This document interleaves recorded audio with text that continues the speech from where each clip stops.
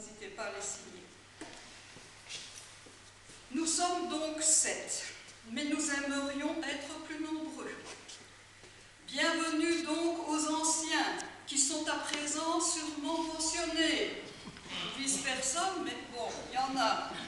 Et ils sont sans doute libérés aussi de certaines tâches éducatives, bien que, étant grands-parents, ils ont d'autres responsabilités.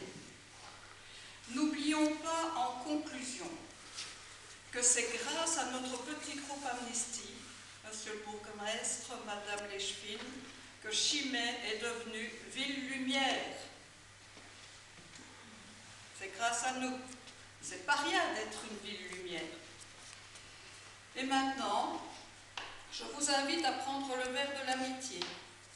Les membres du groupe, après bien des tergiversations, ont fini par s'entendre sur le fait de vous offrir cette grande occasion le champagne. Mais bien entendu, il est offert par les sept membres du groupe et pas question d'utiliser la caisse du groupe.